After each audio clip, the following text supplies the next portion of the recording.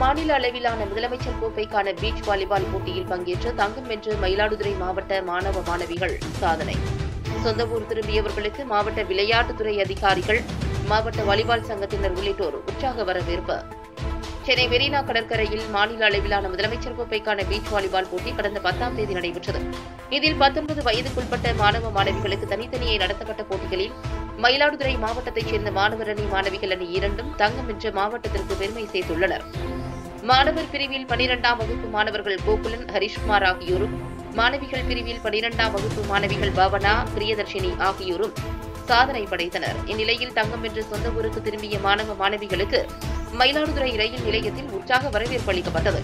மாவட்ட விளையாட்டுத்துறை அலுவலர் அப்துல்லா ஷா மாவட்ட வாலிபால் கழக செயலாளர் பாபு துணைத் தலைவர் பழனிவேல் மற்றும் மாணவ மாணவிகளின் உறவினர்கள் நண்பர்கள் ஆகியோர் மாலை அணிவித்து வரவேற்பு அளித்தனர்.